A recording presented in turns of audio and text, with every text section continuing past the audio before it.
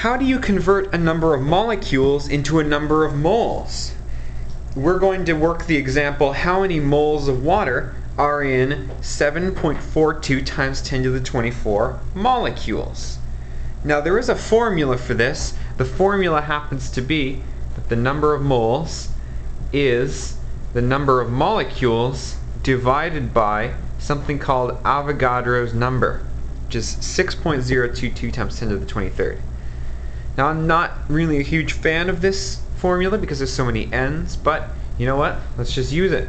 Number of molecules, 7.42 times 10 to the 24 molecules. And I'm going to divide that by Avogadro's number, 6.022 times 10 to the 23. And the units there are molecules per mole. If I enter that on my calculator, what I'll be doing is 7.42 times 10 to the power of 24 divided by 6.022 times 10 to the power of 23.